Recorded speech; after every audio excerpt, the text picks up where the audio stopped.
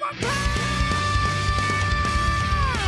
Hola, soy Bash. Y hola amigos, bienvenidos una vez más a nuestro canal. Y bueno, el día de hoy, como ya es costumbre del canal, les traigo la review del capítulo 196, actualización 241 del manga de One Punch Man. Un capítulo que sin duda alguna es bastante importante, ya que en este se revela información acerca del líder de la aldea ninja y su relación con Blast. Además de también revelarnos cosas bastante importantes sobre el mismísimo dios. Sin duda alguna, este capítulo ha sido una verdadera locura. Pero bueno, ya es estaremos platicando y analizando todo lo ocurrido en este episodio. Así que sin nada más por añadir, comencemos de una vez. Y bueno, comenzando con el episodio de primera instancia se nos muestra una portada de Flash Flash, en donde se nos deja la frase, el fragmentado pasado que nos une, haciendo referencia precisamente a que en este episodio conoceremos más acerca del pasado de Flash Flash y su conexión con Sonic en la aldea ninja. Pero bueno, ahora sí comenzando con el episodio, regresamos a lo que nos dejó el episodio anterior, justamente cuando Flash Flash le hizo una pregunta a Blast diciendo, ¿tú la conoces? La conexión entre Dios y la aldea ninja donde me crié, a lo que rápidamente Blast se pone serio por la pregunta, mientras Manako se pregunta acerca de la aldea ninja, y Saitama dice, parece que es la aldea de la que hablaba Sonic y esos dos raritos. De esta manera Flash y Flash muy serio dice, tú eres el que exterminó mi aldea, ¿verdad Blast? Esto deja muy sorprendido a todos, a lo que Blast responde, entiendo que me guardes rencor, pero Flash Flash Flash dice, por el contrario, me siento aliviado. De esta forma Blas le dice, en este momento puedo ver que eres un hombre que quisiera borrar casi todos sus recuerdos sobre la aldea, mientras que Saitama se pregunta de qué están hablando estos dos. A lo que ahora sí Flash Flash nos explica parte de su pasado, diciendo yo fui criado y entrenado como un asesino por una organización llamada la Aldea Ninja. Dentro de las montañas su fundador creó una barrera a lo largo de esa zona, para que la gente normal no pueda llegar. Hace nueve años, justo después de que yo abandonara la aldea, escuché que alguien la había exterminado con sus propias manos. Después de que pasara eso, dejé de prestarle atención, aunque hubo algo que me intrigaba. Así que mientras tú estabas buscando a Manako durante esos tres paneles, fui a revisar su condición. Y la verdad es que me encantó esta referencia acerca de romper la cuarta pared, al igual que Saitama lo hizo en aquel momento. Sin duda alguna, Flash y Flash está aprendiendo del mejor y se postula para ser el próximo discípulo de Saitama. Pero bueno, ahora sí observamos lo que vio Flash y Flash en ese momento, y es que lo que antes era la aldea ninja, ahora se encontraba completamente destruida. Además de que también aquel flashback donde antes habíamos visto el cubo de Dios, ahora parece ser que de igual forma ha desaparecido. Por lo que Flash y Flash continúa diciendo, parecía que alguien había excavado usando unos huecos circulares. A partir de sus huellas tuve una pista de quién lo había hecho. La razón por la que atacaste fue para recuperar el cubo, ¿verdad? Gracias a esos molestos senpais ninjas, mis memorias pudieron conectar un recuerdo en lo profundo de las instalaciones. Solo puedo recordar algo que era similar a ese cubo, además de, y en ese momento se nos muestra un flashback impresionante, ya que al parecer Flash y Flash y Sonic en su juventud fueron capaces de hacer contacto con el mismísimo líder de la aldea ninja, observando que ese se encontraba en una cámara de recuperación, mientras que también se nos muestra las increíbles heridas que tiene en su cuerpo, ya que parece ser que fue completamente destrozado. Además, haciendo un enfoque un poco más cercano, podemos observar que efectivamente parece ser que esa persona ya no era una persona, sino que en este momento parecía más un monstruo, debido a que podemos observar sus orejas puntiagudas y sus colmillos. De esta forma, Flash y Flash continúa diciendo, esa persona no parecía un humano. En la cápsula de recuperación duerme el fundador de la aldea, a ese tipo Dios le dio poder, ¿verdad? De esta manera, debido a que Blas se percata de que Flash y Flash sabe muchísimas cosas, comienza a explicar. En el pasado, este tipo y yo investigábamos el cubo, él era mi compañero. Y bueno, justamente como ya habíamos teorizado anteriormente, al parecer el líder de la aldea ninja, a final de cuentas, era el compañero de Blas, y este investigaba junto a él el cubo de Dios. De esta manera también finalmente se nos revela su diseño prácticamente completo y su nombre, ya que Blas menciona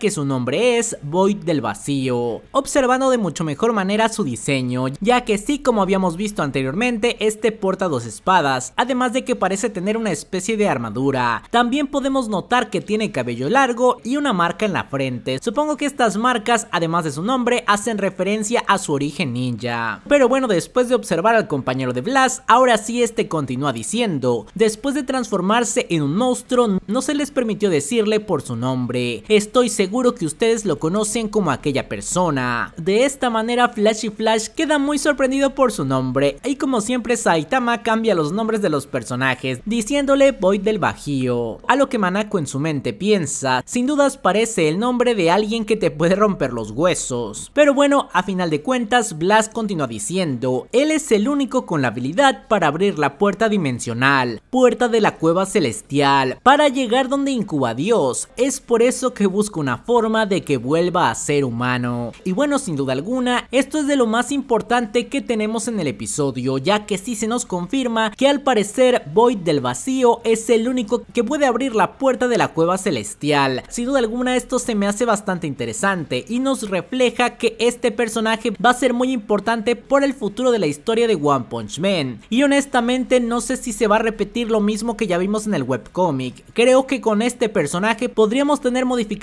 bastante grandes. Pero bueno, por otro lado, algo que me llama la atención bastante es que Blas hace referencia que ahí es donde incuba Dios, como si este aún no hubiera nacido, por lo que esto nos puede reflejar que tal vez Dios o el cuerpo de Dios aún no está completo. Esto tendría bastante sentido por lo que vimos alguna vez en las escrituras subterráneas, es decir que Dios necesita sacrificios para resurgir. Esto puede tener conexión a que todavía se encuentra en incubación, por lo que necesita de sacrificios o alimento para poder completar su cuerpo al 100%. Sin duda alguna, si el poder de Dios aún no está completo, esto va a ser una verdadera bestialidad. Pero bueno, la verdad es que todo esto me parece impresionante y poco a poco el misterio sobre Dios se va resolviendo. De esta manera, continuando con la situación, observamos que un agente de la Asociación de Héroes aparece diciendo, disculpen, hace poco llegó una carta para Flash y Flash. Debo decir que a Murata le dicen, haz una chica random y siempre nos hace una verdadera belleza. Ya me estoy enamorando de esta gente desconocida. Pero bueno, a final de cuentas se nos revela que al parecer esta carta es de Sonic y es directamente para retar a Flash y Flash diciendo, aquella persona ha despertado y está en busca de tu cabeza, es inútil que huyas, ha llegado el momento de que termines esto, ven a mi escondite, el único lugar donde duermo, el lugar donde soñamos inocentemente. De esta manera Blas se preocupa mucho por la situación diciendo que aquella persona ha despertado, a lo que Sitch que también se encontraba en el lugar dice, qué momento tan inoportuno, pero Blas sigue comentando, al pelear contra mí fue herido gravemente y pudo escapar, han pasado 15 años desde eso, hace mucho debió recuperarse y conseguir fuerzas, puede que haya estado midiendo el mejor momento, observando parte de un recuerdo de Blas, en donde en efecto parece ser que Blas acabó con su enemigo completamente. De esta manera, ante las palabras de Blas, observamos el pensamiento de Flashy Flash, que dice, parece que no pudo darle el golpe de gracia, es un tipo blando. La verdad es que esto es un poco inconsistente, ya que también se supone que Blas masacró la aldea de Flashy Flash, por lo que eso de ser muy blando no sé si sea verdad, o tal vez aquí en el manga se corrija esa parte de que Blas acabó con todos los miembros de la aldea ninja, ya veremos cómo se maneja todo esto. Pero bueno, dirigiéndonos con Saitama, este dice, su letra es muy bonita, ¿no será un impostor? A lo que Flashy Flash rápidamente dice que no, ya que él se lo enseñó, y sin duda esa letra es de Sonic, por lo que Saitama rápidamente se molesta, ya que este dice que cuando fue con él, la carta de cuando lo retó eran puros garabatos, así que Saitama está enojado, y bueno, claramente esto es una falta de respeto para Saitama. Pero bueno, regresando con Flash Flash, este lee una vez más la frase de Sonic, en donde dice, el único lugar donde duermo, el lugar donde soñamos inocentemente. De esta forma, Flash Flash dice, parece que Sonic ya ha caído en manos de aquella persona, él escribió esto solo para persuadirme, si voy a su escondite es bastante probable que aparezca aquella persona, es la oportunidad para reivindicar tu honor Blast, yo tengo algo con lo que tengo que lidiar antes, ustedes adelántense a su escondite, a lo que responden no importa, de verdad está escrita la dirección al reverso de la carta, a lo que Manako piensa, los ninjas realmente prestarán atención y vemos que Blast en ese momento se dirige a Saitama diciendo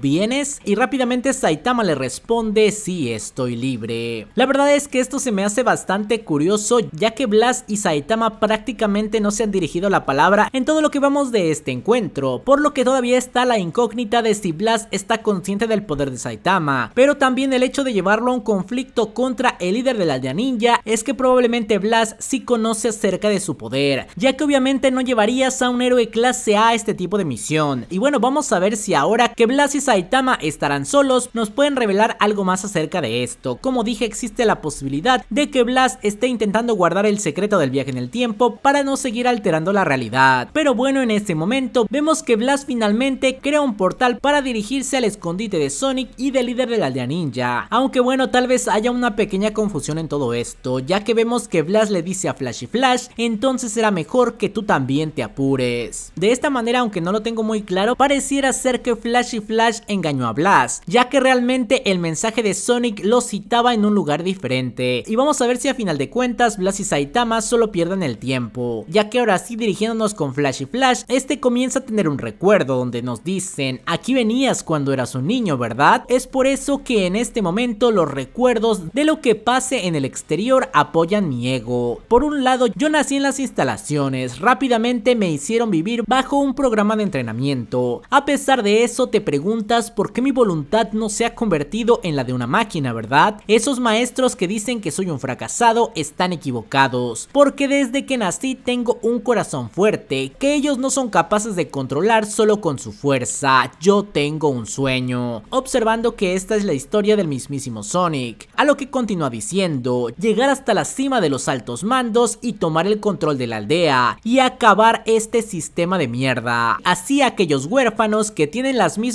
circunstancias que nosotros podrán crecer tan libres como quieran. Técnicas asesinas o tener que matar a gente ya no será necesario. Lo que yo realmente pienso que tiene valor es la fuerza para poder vivir libremente tu vida. Y eso nosotros no lo tenemos en este momento. Tú también me apoyarás, ¿verdad Flash? Lo entiendo, tus ojos se parecen a los míos. Hay que decidir un nuevo lugar para la aldea. A lo que Flash y Flash le confirma es cierto, señalando juntos lo que supuestamente sería el nuevo lugar de la aldea ninja. Y justamente a ese lugar es donde Flash y Flash se dirigía para encontrarse con el mismísimo Sonic. De esta manera Sonic recibe a Flash y Flash diciendo viniste, el lugar donde soñamos inocentemente, así que te acuerdas. Hace unos años en la base de la montaña se abrió una carretera y llenaron el interior de la montaña con residuos industriales, un lugar donde no llegan los ojos de la gente, las circunstancias parecen completamente perfectas,